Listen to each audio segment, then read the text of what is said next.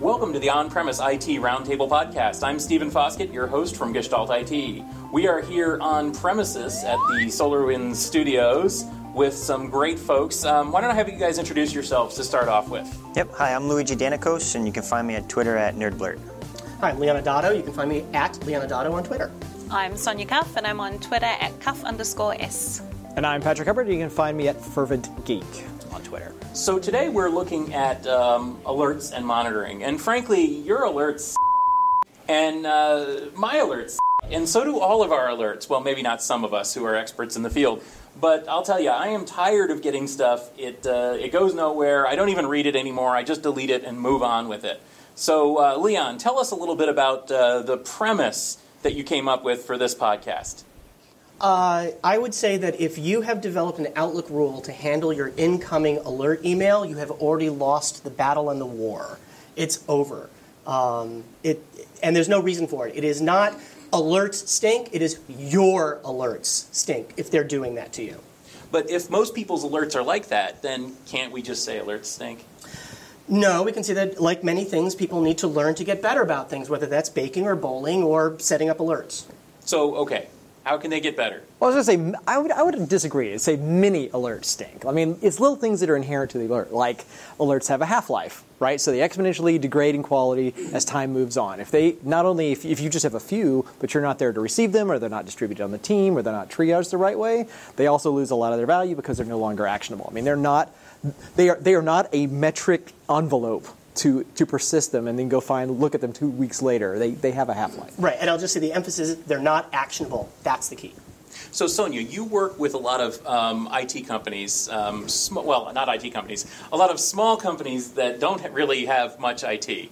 That's right. Well, the problem is the systems that are generating all this noise. And so, no matter what alert system you put in, you have to start fine tuning what it's going to ping on and, and, what it doesn't. But that's just a filter over top of what the operating system or the underlying system is, is warning us about. And out of the box, you go into any event log and you'll find noise in there. And so, you know, we, have got an underlying problem with the, the quality of the data. And as you said, we can't split out what's actually still valid so, Luigi, you've been doing this for a long time. Um, you know, how, how would you do that? How could you possibly configure a system to send only the good stuff?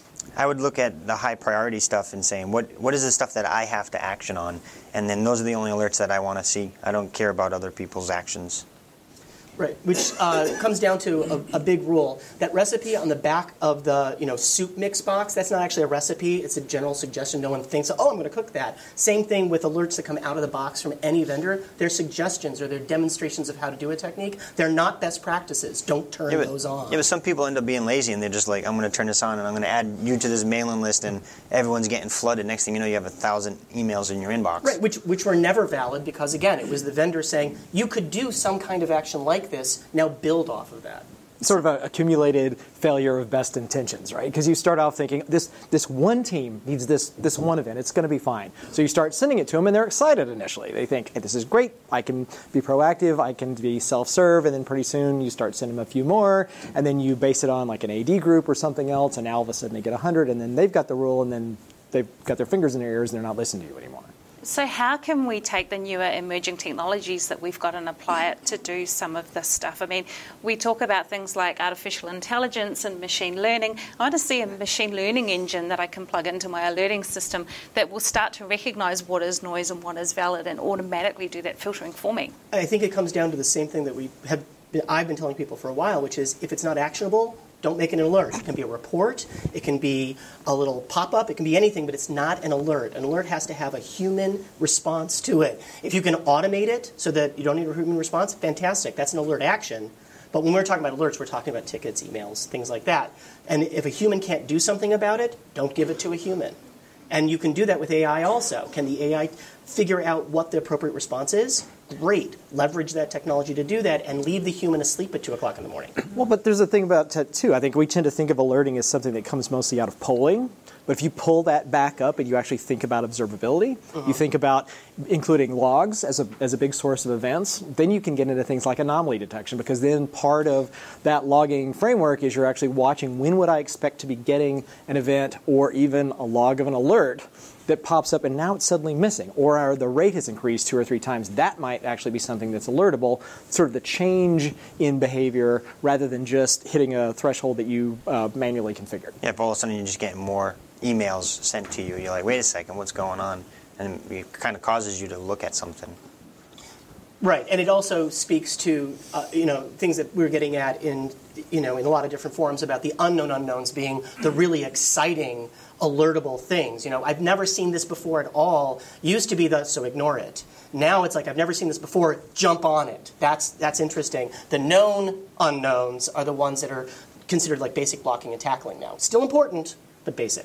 You, everyone keeps saying email do you think that's a big part of the reason why uh, alerts suck is that they um, really uh, if you only send email, if you don't, if it can't go to a mobile device, if it can't uh, pop up in an aggregated uh, view, if it doesn't come up through some other channel or hit an automated link, that we still have a tendency to go to uh, email first, maybe because that's sort of what most of the out of the box. Yeah, I would say yeah. Email is probably the first line for an email. For an alert for me would be I get an email sent to me.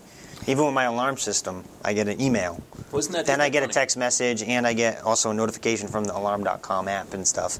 That, but my first thing I get is an email. Isn't it funny that, um, in a way, if we're saying that your alerts stink, what we're really saying, well, if your alerts stink and your alerts are email, by the transitive property, your alerts are spam.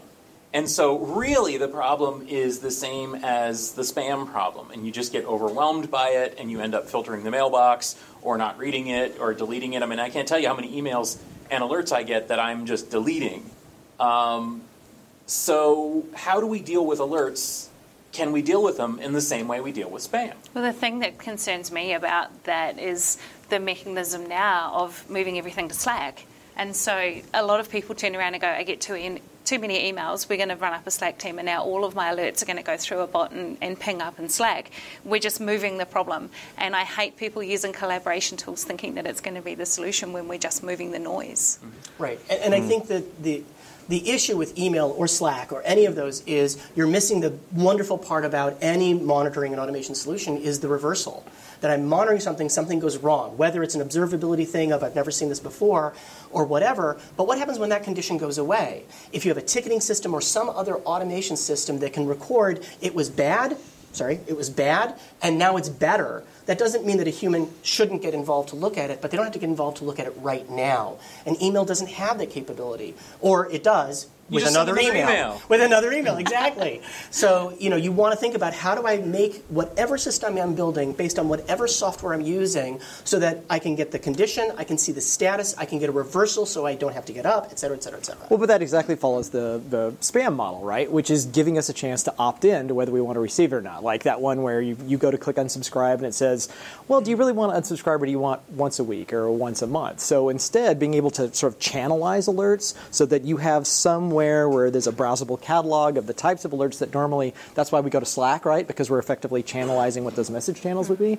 But like giving your end users an ability to opt in and out as needed. Maybe there's a day that they want 100 alerts a day. It's a development team. They're working on process, and each one of those alerts actually is something they need to do something about. It's like coming out of a failed build or a UI test that didn't work, but then they want to be able to hop back out again. So just like you would with email, if you can actually channelize it and make that self-service, then it makes it easier for to, to, to give them the richness of lots of monitoring uh, alerts when they want it, and cut back to nothing if they don't. And it's an interesting gap in the way that our alerting systems can be configured because we talk about being able to snooze alerts when we've got a maintenance window because we don't want all that noise. The systems are down. We know they're down. We've taken them down. But to be able to fine tune that, to turn around and go, actually, during this period, I want to ramp up those alert levels. Or during this period, I want to silence the alerts about this database being down, but I still want to know if the server's down. Right. which goes into configurability, overall configurability. Hmm. You want to be able to, first of all, not alert on a fixed threshold, but on a baseline. I want to know when the system is 10% worse than normal, which is normal for this box on a Tuesday in May, not some fixed number, Yeah. and then also be able to say things like, I only want to know when this condition has persisted for X number of minutes in combination with this other thing, which gets into, again, the original thing is you just turn on the default thing, you know, like, oh, that's not best practice, Yeah. it's just an example. You're expected, and you should expect yourself, to put some real thought into when can I take meaningful action on this? I've been guilty of that. The default, just, oh, this is how it's set, configured, and, and know. Some of that comes down to education on the product too, though, being able to know some of the features and how you can customize it. Well, like if there's a button, it'll do automatic thresholding, and you've never noticed it before, and so you spend all, you spend days in there configuring thresholds to try to kind of quash the logging, and then all of a sudden you realize, oh, oh it'll figure out Monday morning when everyone's synchronizing out. Look, great. Yeah, so one of the things that comes to mind listening to you guys about this is um, why don't we have sort of an alerting mechanism that's not email and not Slack and has the ability to do actions? Why don't we have, like, why isn't there a push application on iOS or something that would let you, you know, push alerts and then say, yes, no, If- maybe. if alerts, then that. Die. yeah, I was just going to say uh, if this, then I, that. I think lots of tools have that, you know, without naming specific vendors. I think there's, you know, tools that have everything from, you know, hey, the website isn't doing well. First thing you do is clear is reset the application pool. And after 10 minutes, if that's not true, reset IIS. And if that's not true, then reboot the server and then go send a ticket. And Yeah. I'll say ticket, not email. Yeah, and well, I'm not necessarily talking even about um, like AI or back end stuff. Mm-hmm. Basically, how come the alert's not smarter? The alert itself isn't smarter. How come it doesn't give me a choice or give me an opportunity to do something right there, to push a button and say, Well- yes, well, do something? Well, there's sort of twofold, right? There are there are uh, products that are that are beginning to do that, right? That'll actually offer recommendations. For example, if it's looking at data and says, "Hey, here's something you might want to do," and by the way, here's the here's how you might want to remediate it. Here's where you maybe want to move that resource or make that change. But then the other one is starting to get people to, and I know I'm going to go back to my favorite recently, which is logging, but like there are, if, if what people really want is event flows, they don't even want alerts, right? They just want to actually be able to look at data that's based, that's actually kind of real time data that meets a specific criteria, maybe exposing that so that you're not even starting with the alert in the first place. Uh, actually, Stephen, here's a question for you. Do you think it's that it's it definitely uh, uh, products could be smarter about generating alerts and how to what they should do in the first place. But do you think a lot of it is just people are afraid to take that last step of automatic action? That, Oh. that, that, that, that, that the, the barrier in a lot of ways is human. It's like, yeah, the alert can do that, but I don't trust it, or I can't do after action follow up, or to make sure that nothing terrible happened as a result of, result of it. I definitely think so, especially if Yeah. the action is something dramatic, like reboot the system. I think people are terrified of saying, you know, if, you know, threshold of this, you know, reset this thing. Uh, Nobody wants to be in a situation like that because we've all experienced the, the negative of that where things go bad, right? I mean, Yeah, I you would, guys agree, are, I would agree with you on that one. yeah. Yeah, like, like uh, if you see this MAC address on this port, then just down the port, but oops, that's cascaded up to the trunk port. Yeah, Right. Exactly. Yeah, and it's the same reason that people hate Spanning Tree and all these other Mm-hmm. um, things that do things that you didn't maybe ask them to do. Automation, I think, in the past has been a, a pretty scary thing for a lot of sort of dyed in the wool regular IT folks. But I think that with the rise of all sorts of programmability from you know Python in the networking space to just the whole DevOps mentality, I think people are, coming to terms with their fear and sometimes unreasonable fear of automation.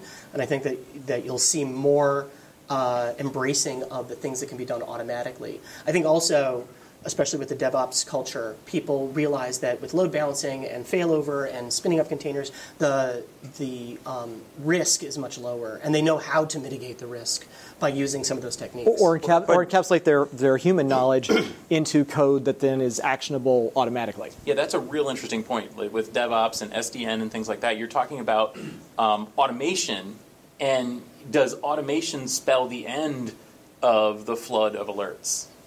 Yeah, but what happens if you're not involved in a DevOps culture in your organization, right? Where you may be starting into that, but the whole organization isn't. You're not going to have that same mindset, Certainly. and that, that's going to be a problem to overcome. you know, it's a, it's a cultural question about getting people comfortable with, you know, in, in this topic, getting the alerts better. And I think that when you say, hey, would you like to not be woken up at three o'clock in the morning four times a week? Here's our way. Here's our path there. People will be very happy to get their sleep back, and they will they will happily adopt habits that will allow them to do that. Well, the whole automation argument is something that IT pros need to take a leaf out of the software development books, though, right? Because there are so many of the little tasks and things that we do that we can automate as a process, and it's something that IT pros are so used to having the control.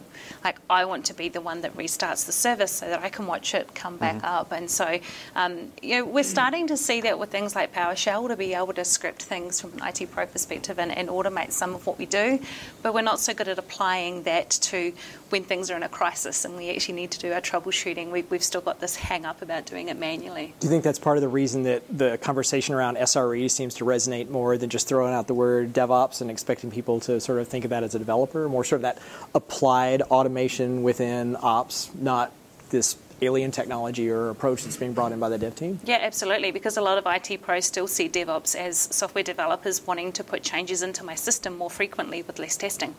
Be really be, and, and, and You might even say DevOps is a dumpster fire, which was a topic of a former podcast here. Yes, The- from an IT perspective, uh, IT pro perspective. So, yeah. So, um, well, uh, on that note, I, I don't know that we have an answer here, but we can, I think, definitively say that uh, that your monitoring and alerts sucks, right?